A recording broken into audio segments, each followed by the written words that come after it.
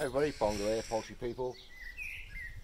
You know what you've come here for. It's to look at the new Evolution Circuit saw because you're thinking of buying one or whatever.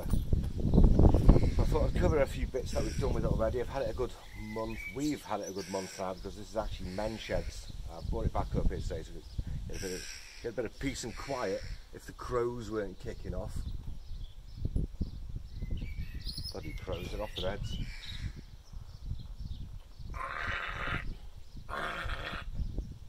Of peace and quiet out of the country.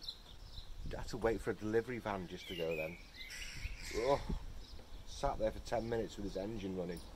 What a racket. Here we go with this. uh, okay, the F165 CCSL. I've taken out the box. You don't need all that stuff in the box. All you really need is the guide here.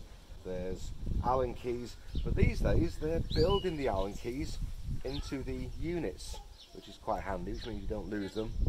Yeah, so there's not a lot to it, is there? You know what I mean? You press the, if you want to change the blade, press that button in, undo it, put a new one in, and yada yada yada. If you want to angle it, it's a case of adjusting, and doing all sorts with it. But it's there, and it all seems to lock quite nicely. Nice plastic buttons here and there. It's the usual thumb, press that. It's a decent weight, looks fairly well constructed. I've got the old ones here, it's the Rage 3B and I've also got the Fury. They're both still running, they're both really doing well. This one gets used for cutting up firewood and just beasts it all day long. And then my partner's got this up in her workshop and she uses it a lot. Little issue there with the cable on that one. Cut through the cable on this one. Cable's been cut through on this one as well. But what I do like is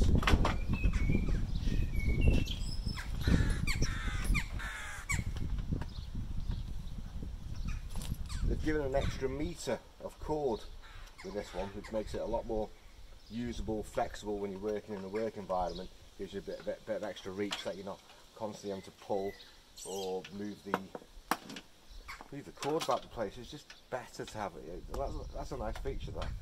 They put an extra extra bit of uh, leadage on there.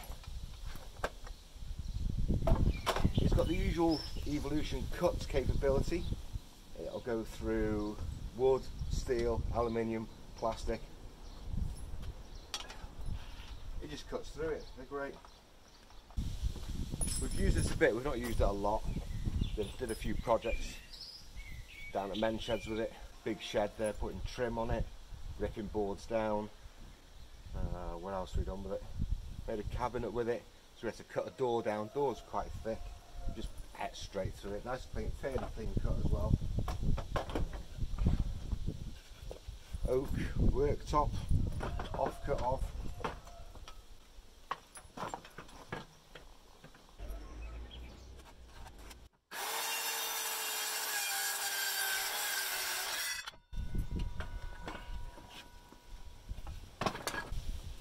That's pretty good. I like the evolution stuff because I do a lot with pallets. And the problem with pallets is you get nails in them. Now, I don't know what happened to that nail, but it went. Straight through nails, no messing about. And it's not just nails either. If you wanted to cut something that was quite substantial, so for example, you're on site, you've got a piece of rebar. Fucking hell.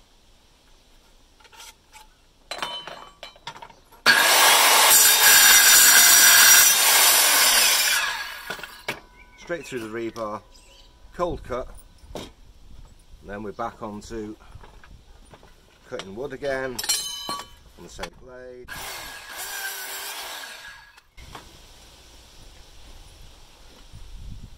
Still quite a nice cut. There's some tears in there. But we're not doing fine furniture. If you're looking for something to do fine furniture and give yourself fine cuts, go for a wood dedicated blade only and don't cut steel with it. That, that's that's the, that's the thing. It's, it's it's a it's a budget tool anyway, but it's got this great capability of having a, blade on it that will cut steel and plastics and wood. But don't expect Chippendale type finishes off it, off straight off the cut. If you wanted to get that, then you have to touch it with you know sandpaper after that and a sander.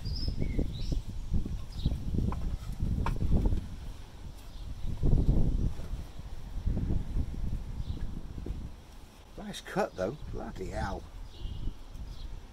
Look at that, that's, that's pretty decent that.